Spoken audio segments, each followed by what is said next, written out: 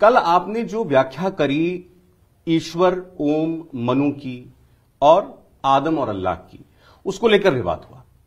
आप ही के मंच पर और धर्मों के गुरु बैठे थे, उनमें से एक जो जैन मुनि थे, रुकेश जी, उन्होंने प्रतिक्रिया भी दी आप ही के सामने। कुछ नाराज़गी भी उन्होंने ज़ाहिर की। और उनका कहना यह था कि इस मंच से ऐसी बातें नहीं होनी चाहिए थी जो आपने अपनी तकरीर में कही। तो उस पर आपका अब तक जवाब नहीं आया। मुझे खुशी है कि हमारे माध्यम से पहली बार वो जवाब जा रहा है। मैंने तो जितनी बात कही थी, वो अपने मुल्क और हिंदुस्तान की महानता की बात थी। हमारा अकीदा है कि अल्लाह ने आखिरी नबी हज़रत मोहम्मद सल्लल्लाहु अलैहि वसल्लम को अरब में पैदा किया। इसी तरह हमारा अकीदा है कि जिस तरह हज़रत मोहम्मद सल्लल्लाहु अलैहि वसल्लम आखिरी नबी थे सबसे पहले नबी के लिए अल्लाह ने भारत की धरती का इंतखब किया और उनको जन्नत से दुनिया में उतारा। ये सिर्फ़ एक छोटे से बेडरूम से मशरूम की खेती करके महीने का पचास हज़ार कमा रही हैं। मशरूम खेती सीखनी है? तो फ्रीडम ऐप को अभी डाउनलोड कीजिए। तो भारत में उतारा। अल्लाह चाहता तो उनको अफ्रीका में उतार देता। अल्लाह चाहता तो अरब में उतार देता। लेकिन उसने इंतखब किया, भारत की धरती का, ये हमारे इस मुल्क के लिए बड़ी महान चीज़ है। फिर एक बात यह है कि ये एक सवाल पैदा होता है कि मनु इबादत किसकी करते थे? मैंने इसको बहुत लोगों से पूछा है। लेकिन चूँकि कोई आसमानी किताब नहीं है इस बारे में।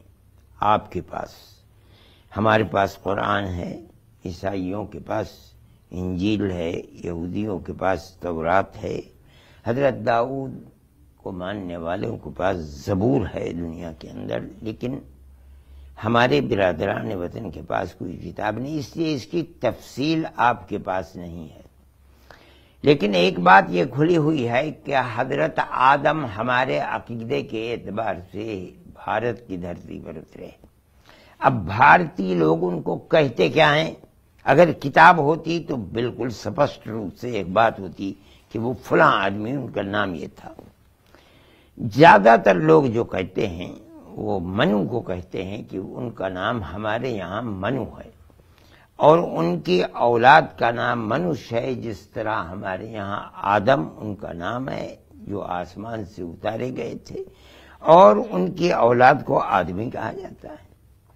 ये एक खुली हुई चीज़ है, चाहे वो जितने ये सिर्फ़ एक छोटे से बेडरूम से मशरूम की खेती करके महीने का पचास हज़ार कमा रही हैं। मशरूम खेती सीखनी है? तो फ्रीडम ऐप को अभी डाउनलोड कीजिए। भी धर्म के लोग बैठे हुए थे, इसमें कोई अंतर नहीं है कि एक आदमी और एक उसकी बीवी आसमान से उतरी थी और उसके, उससे अल्लाह ने उसकी औलाद को चलाया है।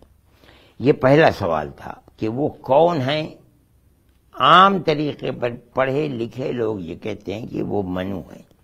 मेरा दूसरा सवाल ये था कि वो इबादत किसकी करते थे? न रावण थे, न श्री राम थे उस वक्त, कोई नहीं था किसकी इबादत। वो इबादत करते थे, मैंने बहुत लोगों से पूछा। हमारा अकीदा ये है कि जिसने उनको आसमान और जन्नत से उतारा था, वो उसको जानते थे। वो उसी एक अल्लाह की इबादत करते थे। लोग ये कहते हैं, हिंदुओं से जो पढ़े लिखे लोगों से, मेरी तीन चार महीने से यही बात हो रही है। वो कहते हैं, ओम की इबादत करते थे।